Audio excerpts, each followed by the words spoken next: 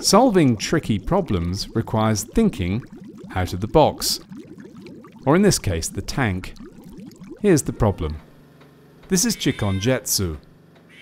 Born two months early, every breath is a struggle. He needs a few weeks of help to fill his lungs. Otherwise, like countless other African babies born prematurely or with acute lung infections, he's likely to die. A CPAP or continuous positive airway pressure machine, standard equipment in the US, would help.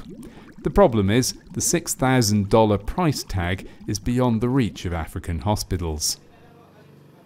A visiting group of medical engineering students from Rice University in Texas solved the puzzle. The answer was just outside the tank the aquarium pump.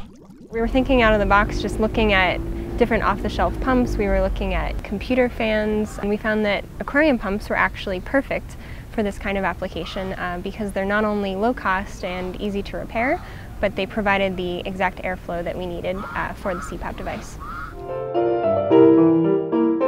Take two aquarium pumps, lots of tubes, put it inside a metal box, easily made in Africa, a bottle of water to regulate the pressure of the air and the oxygen, and you have the Pumani Bubbles CPAP, which costs not $6,000 but 300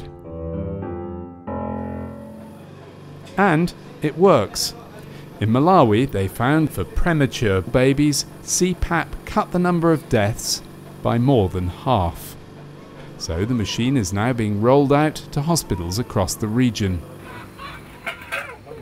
Chikon Jetsu spent three weeks on CPAP, six months later, and he's a healthy and curious baby. All thanks to someone thinking outside the box. Or in this case, the tank.